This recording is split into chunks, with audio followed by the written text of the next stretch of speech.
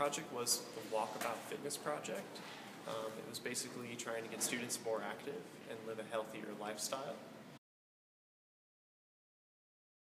I picked it because I was interested in getting physically active. Uh, a lot of students have problems um, staying, I guess, like staying on the computer for extended periods of time without kind of getting antsy. They have to get up and uh, work around and kind of stretch and do that kind of stuff.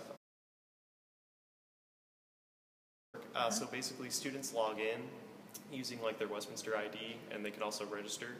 And uh, they use their username and password to get into the system, and then they can set up through their exercise pre- preferences, uh, their set intervals, and also the type of exercise that they're doing. So, type of like endurance, or whether it's strength or mixed, or stretching. And then they set their interval period, and then it goes into the background, and then it unobtrusively kind of uh, interrupts the user while in the middle of their session and tells them to get up and exercise, or they can snooze it.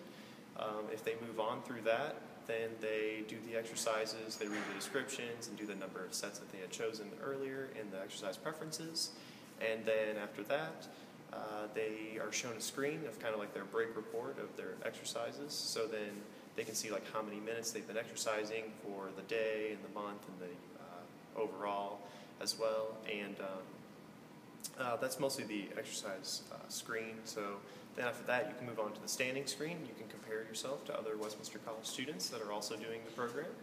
And so then they can kind of see how they're doing and gamify it in a way of making them want to do better. So that's kind of the way it works. Great.